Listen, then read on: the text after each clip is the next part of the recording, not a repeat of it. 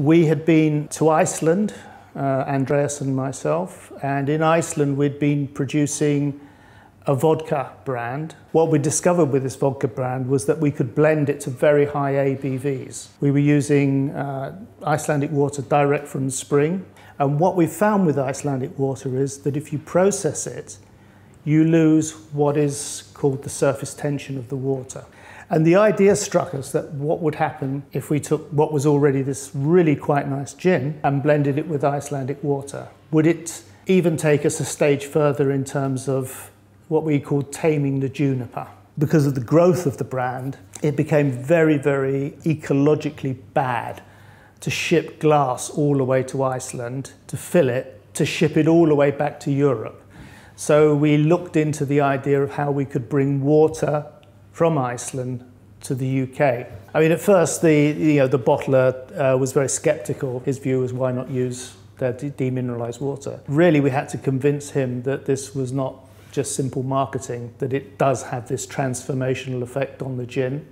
And we did this by having him bottle some of his own uh, demineralized water with Martin Miller's in it and ours, and we let him decide. Even our bottler straight away just said it's chalk and cheese. You know, this is crazy. I don't, I don't know why it's working, you know, but it works. So we set ourselves the task of basically bringing water to the UK. This took probably nearly 18 months to, to figure out because it's, it's, not, it's not treated, it goes off very quickly if you leave it out. And at that time, there was no real viable way of shipping it in, in the quantities we needed.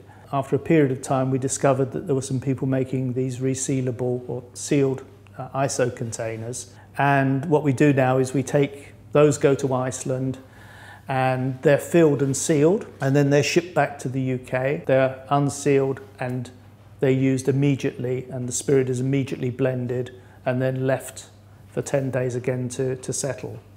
If you don't do that, the water goes off. Um, so it's a pain for the bottlers, but it's the only way of doing it. Uh, this gin that was already very good was simply transformed into this totally different experience. No particular botanical came to the fore. You could smell citrus, then if you breathed again, you got some juniper. Then you would get cassia. It was very, very delicate, very complex. When you drink a gin like Martin Miller's that has Icelandic water in it, the mouthfeel is totally different. The Icelandic water was giving it this almost chewy softness. There was no harshness from it, but it was still gin. It was just gin on a totally different level.